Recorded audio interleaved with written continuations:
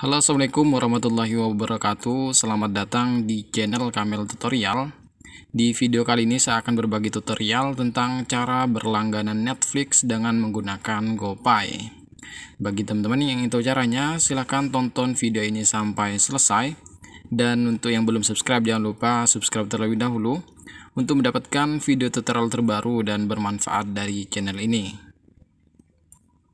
Nah, pertama, teman-teman silahkan download dulu aplikasi Netflix di Google Play Store. Setelah itu, silahkan daftar akunnya. Kalau sudah,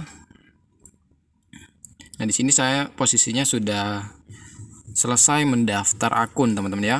Jadi tinggal login saja. Login tulis alamat email dan juga kata sandi yang sebelumnya pernah didaftarkan, teman-teman. Nah, selanjutnya teman-teman bisa membuka website resmi netflix.com teman-teman. Silakan teman-teman klik di bagian tombol masuk yang ada di atas. Kemudian tuliskan alamat email dan juga kata sandinya.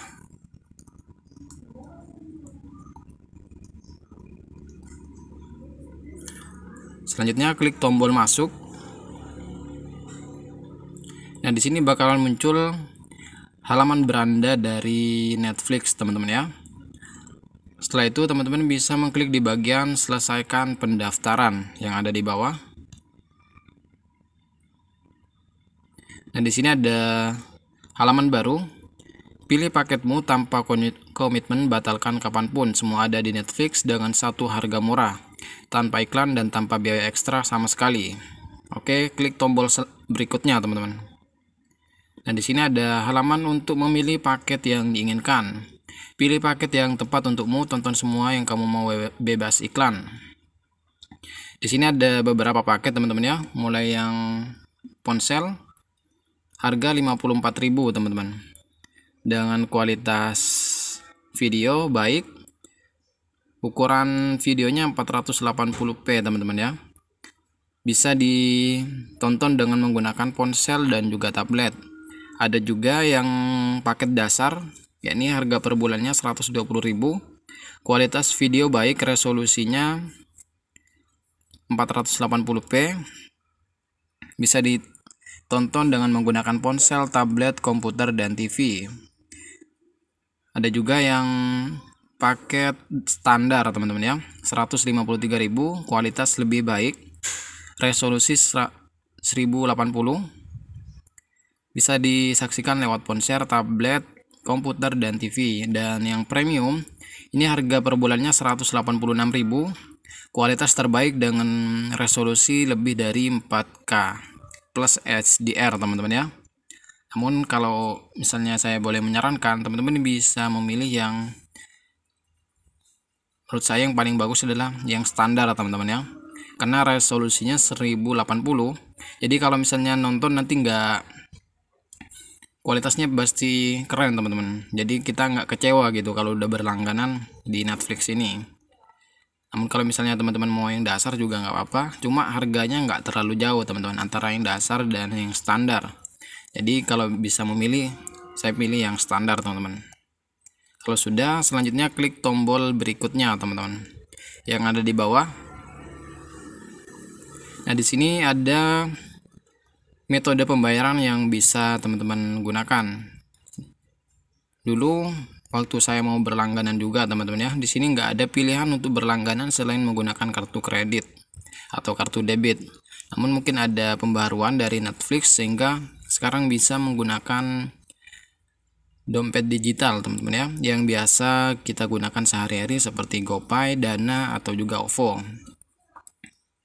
Nah, di sini mungkin mungkin yang paling sering digunakan mungkin GoPay teman-teman ya. Kalau sudah klik mulai keanggotaan teman-teman. Eh klik yang ini dompet digital. Itu silakan teman-teman klik. Kemudian selanjutnya teman-teman bisa memilih yang GoPay. Kalau misalnya nggak kepencet seperti ini teman-teman bisa memilih yang dana terlebih dahulu kemudian baru klik yang GoPay. Seperti itu triknya teman-teman. Karena kalau langsung ke GoPay itu nggak keklik teman-teman setelah itu teman-teman bisa memasukkan nomor HP yang yang terdaftar di GoPay Nah, seperti ini teman-teman. Pastikan teman-teman sudah melakukan top up di aplikasi GoPay karena kalau nggak ada saldonya maka nggak akan bisa digunakan untuk berlangganan di Netflix ini teman-teman.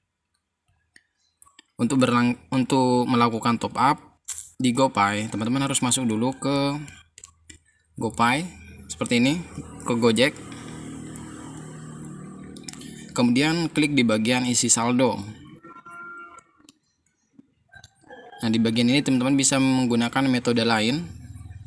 Di sini ada beberapa metode pembayaran atau metode top up yang bisa digunakan. Saya biasanya melakukan top up untuk GoPay ini dengan menggunakan transfer lewat ATM, teman-teman ya. Namun juga, bisa juga melakukan transfer menggunakan internet banking, SMS banking, minimarket atau juga pegadaian bahkan bisa top up dengan lewat driver Gojek teman-teman nah kalau sudah melakukan top up teman-teman bisa balik lagi ke ke halaman netflix.com atau ke web Netflix. Kemudian klik di bagian saya setuju. Ini teman-teman klik checklist terlebih dahulu. Nah kalau sudah.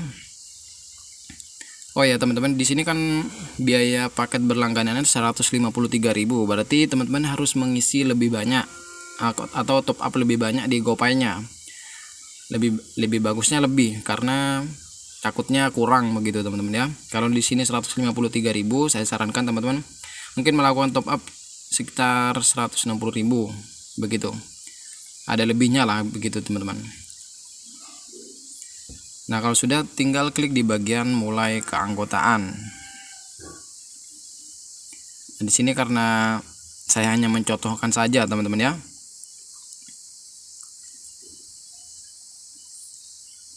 Nantinya bakalan diminta untuk masukkan kode OTP ke nomor yang terdaftar di GoPay, teman-teman. Teman-teman bisa memasukkan kode OTP tersebut dan nanti kalau sudah dimasukkan kemudian klik di bagian konfirmasi maka otomatis paket berlangganan dari Netflix bakal langsung aktif teman-teman oke itu saja untuk tutorial kali ini teman-teman ya tentang cara berlangganan di Netflix dengan menggunakan GoPay ini saya buat sengaja biar teman-teman yang mau berlangganan di Netflix jadi lebih gampang. Karena sebelum-sebelumnya metode pembayaran yang tersedia ini hanya kartu kredit dan juga kartu debit teman-teman. Sehingga ada ada berita bagus begitu. Oke itu saja untuk tutorial kali ini teman-teman ya. Semoga video tutorial kali ini bisa berguna untuk teman-teman semuanya.